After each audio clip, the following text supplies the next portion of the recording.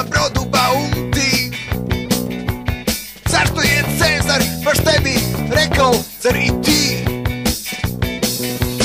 Kajne Dušo Ne traći vreme. Dug je Put Pred tobom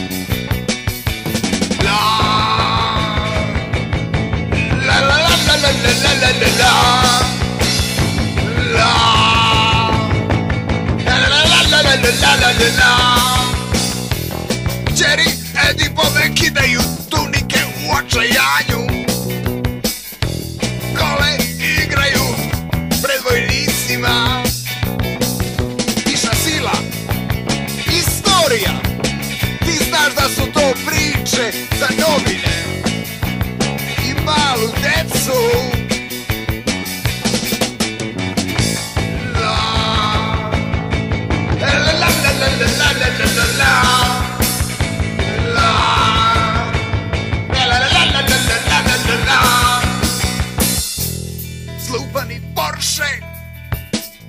Nedovršen film. Norma Johnovom krevetu Lagali su te još kao dete Obećavajući Dobre vile I kraljeviće. Hteli su da od tebe Naprave domaćicu malo bolje priče. Viša sila Istorija. Mislim da bi najzad trebalo da saznaš Kako je izgledala bajka o Snežani.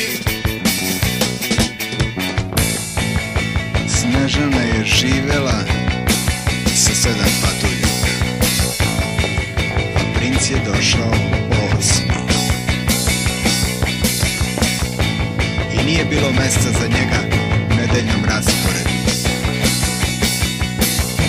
I znaš šta? Ja mislim da su patuljci ubili princa na kraju.